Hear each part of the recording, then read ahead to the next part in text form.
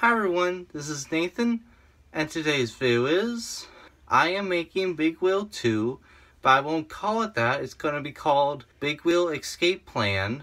You might be wondering why is it called Escape Plan? So in the film, the mayor's like taking over the whole town already, and Big Wheel is part of that escape plan to leave the town. There's a big steam locomotive as well in Big Wheel, the big steam locomotive is part of a different railroad.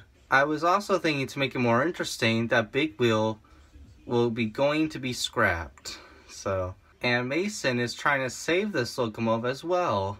But the mayor has an evil scheme on his hand, but then some people try to stop him and try to bust him with the mayor of all mayors. So I hope you like this video. I have Nathan J. DeLay on Instagram, Nathan DeLay on Facebook and patreon.com slash Nathan DeLay YouTube.